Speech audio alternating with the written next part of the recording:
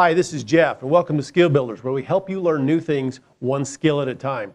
Today we're going to be working in Microsoft PowerPoint, and we're going to be working with shapes. Shapes allow you to create graphics that look professional, but you don't have to be a graphic designer to look good.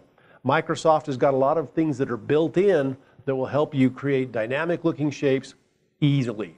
So let's get started. To begin with, let's go to the Insert menu and let's click on Shapes and it'll bring us the drop down menu which allows us to look at all the shapes that they have pre-built for us. And today we're just going to pick something simple like a diamond and once I select the shape I want, it gives me the crosshairs on the screen. So now I hold down my left mouse button and I will drag diagonally to create my diamond and there I go. Now I can begin to manipulate my shape. From there I can do a couple of things. The first thing I'll look at is, is the shape the right size? If it's not, I can take my cursor and place it over one of the handles. If I put it on this one, I have the diagonal handle, which allows me to manipulate it both horizontally and vertically at the same time. If I put it on the one at the side, that allows me to manipulate the width of it. If I go to the top, now I can manipulate the height. So I have those two options. The last option I have is to grab the little green handle up on top. That allows me to twist it or rotate it from side to side, whichever way I like. And we'll just leave it up on top for now to see how that goes. All right, now the next thing we can do is let's begin to format our shape. And you'll notice up on top with our shape selected, we now have the Drawing Tools Format tab available to us. From there, we'll select Format, and let's start with the Shape Styles. We'll pull that menu down, and it gives us a whole range of options to choose from. And again, one of the things that I like about Microsoft that they've done is they've allowed me to preview all of these different options without actually affecting my shape to begin with. So let's pick one, and I like the red one. Kind of red's my favorite color, so we're going to go with that. Now, I've got the shape that I like, I've got the color that I like. Let's begin to play with it. And I can play with the, the content of the shape by clicking the Shape Fill button.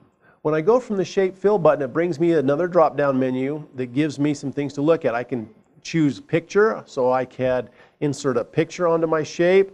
I can choose gradient, which allows me to change the gradient that's in there, or I can add a texture, and my box is in the way so you can't see it very well, but I have all these different textures that I can add. Let's put a nice little granite texture to my shape. So there is a granite texture on my shape. Now, the shape outline allows me to control how thick of a border I put around my shape. If I wanted to see my outline, I'd go back to my shape styles and I would pick an outline and then go back to the shape outline, weight, and select the six point, and now you'll notice how thick the border is on my shape. But I don't like that. I like the three-dimensional look, so we'll go back here. We'll go back to there and put it back to where it was. Now, from the Shape Effects menu, I have all these different choices. I can put a shadow, I can do reflections, glow, soft edges, bevel, and 3D rotation. So let's look at the shadow option first. With shadow, I have all these presets to use. So let's just pick one. And you'll notice that my shape is there with the shadow on the bottom right, but I can't see it very well. Now, to put that shadow where I can see it, I have, I have to go back to the Shape Effects menu back to the shadow. And now this time I have to go all the way down to the bottom to where it says Shadow Options. And from there I get this dialog box. And with that dialog box, I can now affect the distance that my shadow is from my shape just by dragging that slider. If I want to get a little more precise, I can just use the, the little up or down arrow there and do it a little more precisely. The other thing I can do is I can affect the angle by dragging this slider which puts moves the shadow around the shape for me so I can put it wherever I like. And let's put it right straight below it. So now it looks like my shape is coming right off the page. And the last thing is the transparency. With transparency I can affect the shading of the shadow.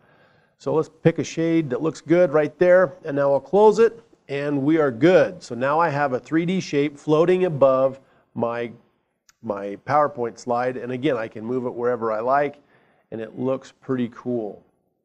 All right, so the last thing we'll talk about is how to do a 3D shape or 3D effect on your shape. So I go back to my Shape Effects menu, go to 3D Rotation, and now I can scroll through those presets and you'll notice how each one of those 3D presets affects the way my shape lays on the page. Some of it makes it easier to see, some of it makes it harder to see. Now, if I, uh, let's say I choose this preset, but it's not quite like how I would like it to be. I can modify it manually by going again to the 3D rotation dialog box, and then down at the bottom I have the 3D rotation options. Brings up my nice little dialog box. The x-axis is my horizontal axis, so if I select this, you'll notice how it moves it left and right. If I, my y-axis is my vertical axis, so it moves it up and down. And then my z-axis is my rotation around center, so I can move my box however I would like it to be. And so now let's leave it right there. That looks pretty good. So with that, I now have a professional looking shape that is customized. The shadow is customized. The rotation of my shape is customized. So it looks just like I want. So now I can move it wherever I would like and I'm ready to go forward. I'm Jeff, and this has been Skill Builders. If you'd like to learn more, check out our other Skill Builder series, or if you'd like a more in-depth look at the Microsoft Office products, go to our website, cetrain.isu.edu, and check out one of the other classes that we offer on a regular basis. Until next time, keep learning.